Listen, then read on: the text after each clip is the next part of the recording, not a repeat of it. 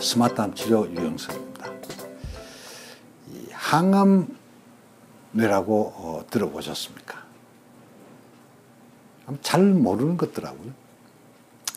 근데 실제로 이제 이 뭐 제가 대학에 있고 이럴 때 항암제를 많이 써 보면 또 지금도 암 환자분들을 상담을 해보면 어, 그런 얘기들을 자주 합니다.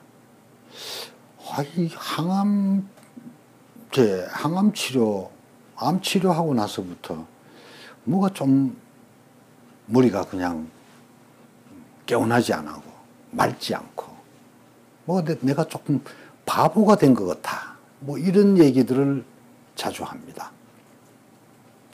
그래서 뭐 과거에는 에이 거의 뭐 어, 충격도 있고 항암제를 맞고 하니까 뭐 영양도 안 되고 피곤하고 스트레스 많고 잠도 잘 못 자고 뭐 이런 것 때문에 그러겠지요.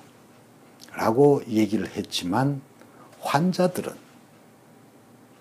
그런 문제를 많이 의식을 해서 자꾸 얘기하니까 실제로 이거는 뭐 어, 항암뇌, chemo brain 이거는 어, 학술적인 용어는 아닙니다.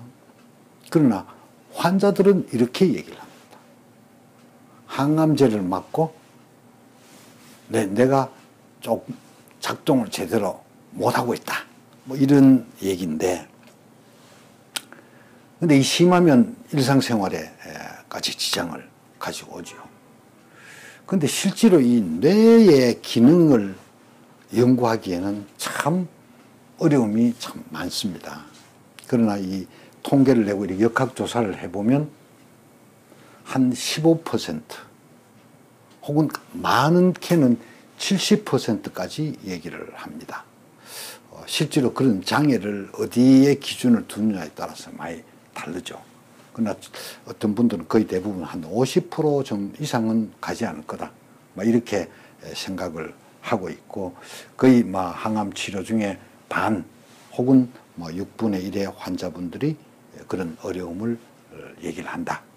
그리고 이게 상당히 금방 항암 치료 중에 금방 나타났다가 항암 치료가 끝나면 뭐 금방 없어지는 분들도 있고 또 심지어는 상당히 장기간 지속이 되는 분들도 있습니다. 그래서 2011년에 어떤 연구를 했나 그러면 골수 이식 환자들을 대상으로 연구를 해봤습니다. 골수 이식을 하기 위해서는 아주 고용량의 항암제를 씁니다. 그래 했더니만 1년 후에 그 항암 뇌 기능이 좀 장애가 있던 것이 상당 부분 회복이 됐다. 그러나 한 40%는 5년 후에도 조금 지장이 있더라. 이런 얘기가 아, 통계가 있습니다. 재밌는 거는 이런 연구도 있습니다. 반, 항상 찬반이 있지 않습니까? 반대쪽에서는 2012년 연구를 했는데 유방암 환자가 수술만 하고 난 다음에 항암제를 안한 시작하기 전에 해봤더니만 4분의 1에서 이 단어를 쓰는데 옛날 같지 않다. 7분의 1에서 내 기억이 옛날 같지 않다. 라고 얘기를 한다는 거죠.